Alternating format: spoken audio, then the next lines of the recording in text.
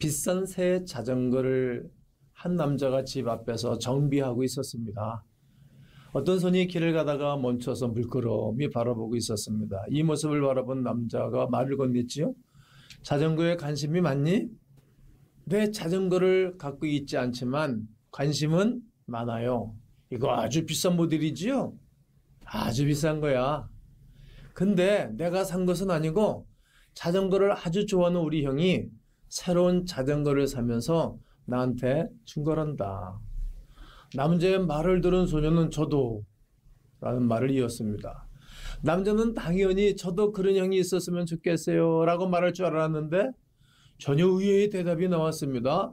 저도 그런 형이 될 수 있으면 좋겠어요.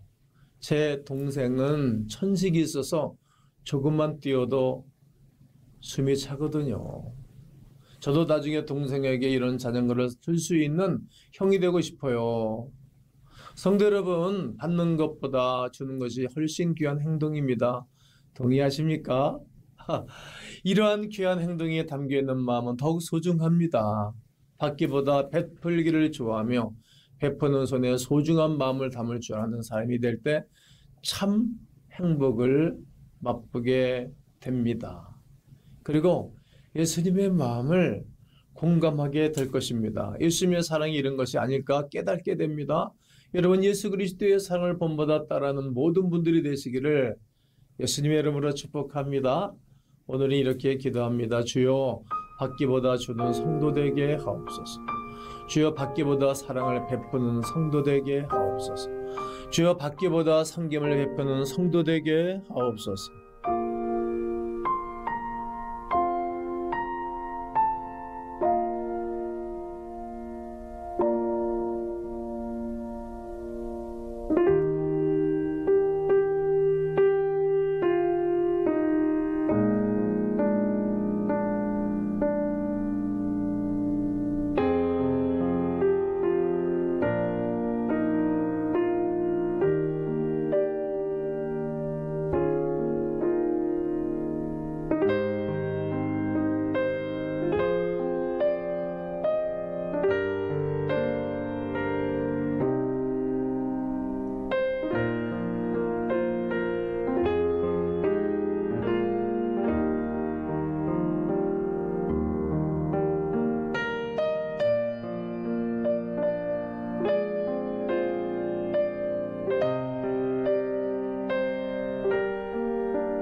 사도행전 20장 35절에 범세 여러분에게 모본을 보여준 바와 같이 수고하여 약한 사람들을 돕고 또 주 예수께서 진히 말씀하신 바 주는 것이 받는 것보다 복이 있다 하심을 기억하여야 할지니라. 마태복음 5장 42절에 내게 구하는 자에게 주며 내게 꾸고자 하는 자에게 거절하지 말라. 하나님 아버지 장례를 치르는 중 화장장 벽에 붙어있는 신세 많이 지고 갑니다라고 쓰여진 문구가 생각납니다. 참 신세 많이 진 듯합니다. 부모님에게 많은 것 받았습니다. 형님들, 누님들, 아우에게, 가족에게, 선배에게, 후배에게, 친구에게, 선생님에게, 목사님들께, 교우들에게, 동역자들에게 많은 것 받았습니다. 많은 도움 주신 모든 분들을 축복해 주옵소서.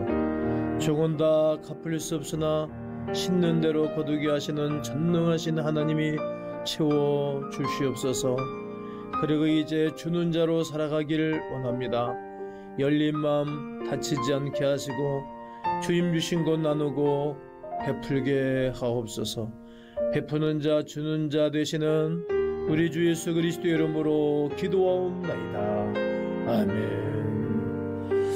사랑하는 시청자 여러분, 그리고 성도 여러분, 전도서 8장 12절에 여호와를 경외하는 자들은 잘 될 것이여 말씀하셨고 요한삼서 2절에 사랑하는 자여 네 영혼이 잘된 같이 네가 범사에 잘 되고 강건하기를 내가 강구하노라 하셨으니 여러분 잘 됩니다. 계속 잘 됩니다. 끝까지 잘 됩니다. 영원토록 잘 됩니다. 여러분 주는 자가 있습니다.